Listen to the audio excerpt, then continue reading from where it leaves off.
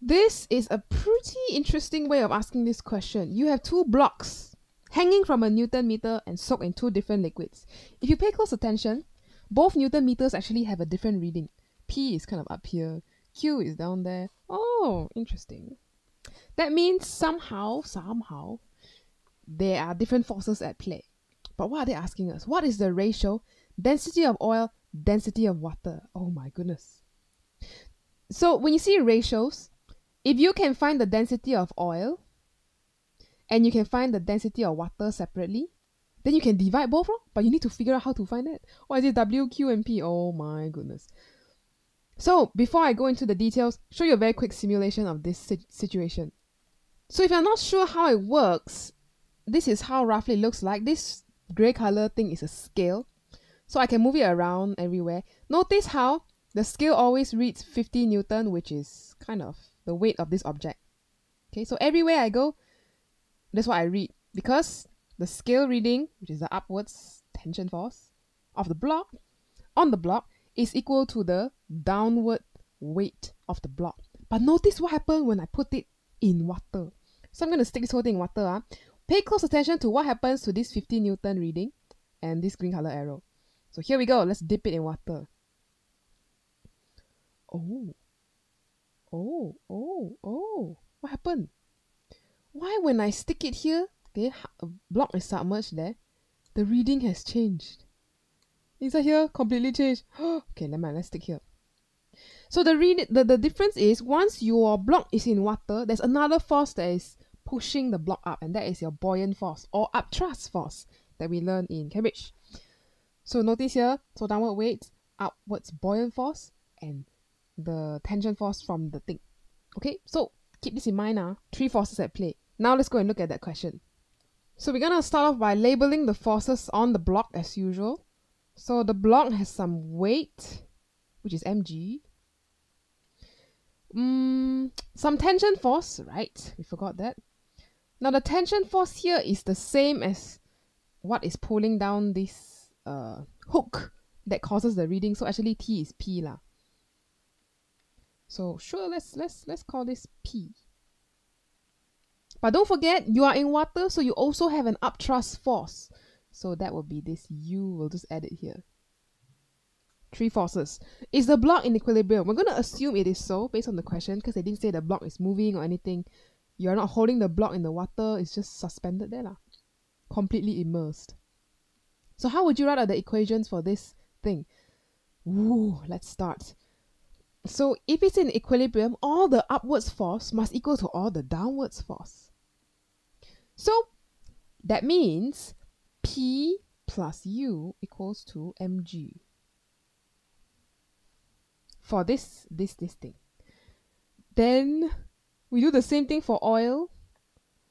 So this is for water. Oil is the same thing, right? Ah, yeah, just that is this one is Q, U, mg. So for oil, we have Q plus U equals to mg. Now, how are we going to find density? We need some way to get density into our equation. Then only we can find ratio to divide.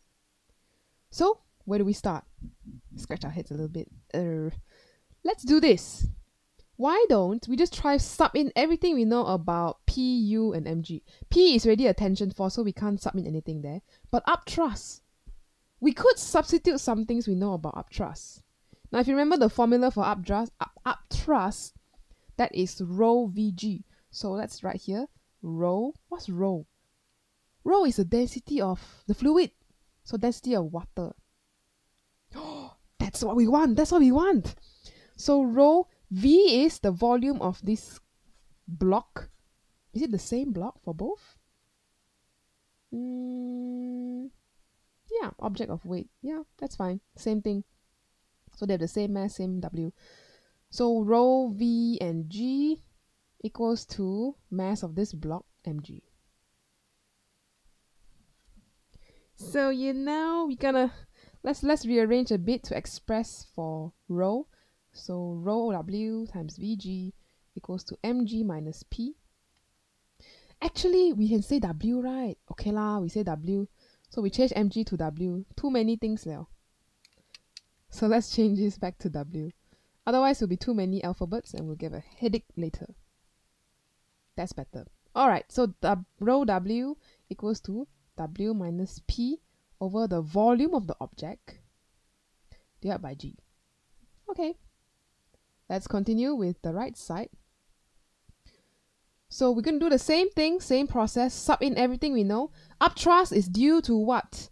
Density of the fluid, which is oil, rho O, volume, which is the same object, so just V also, and gravitational force, a gravitational constant, sorry. And mg is just w, so we just keep it as that. Now we do the same thing, we rearrange. So rho O Vg equals to w minus q. Do you see where we're going? We're almost there. So w minus q over Vg. There we go. Now we can find the ratio. So I'll write the working down here.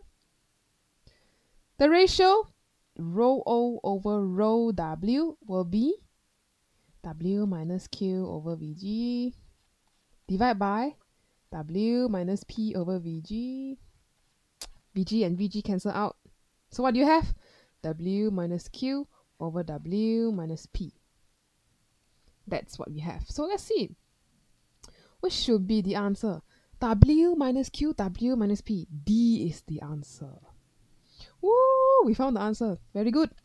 So when you see ratios, stay calm. Find both separately. And then you divide them to find the ratio. That's the one of the most straightforward way lah. Okay. So you remember you're trying to find density. So you need to somehow, somehow get density involved in the equation. So that's why we did this.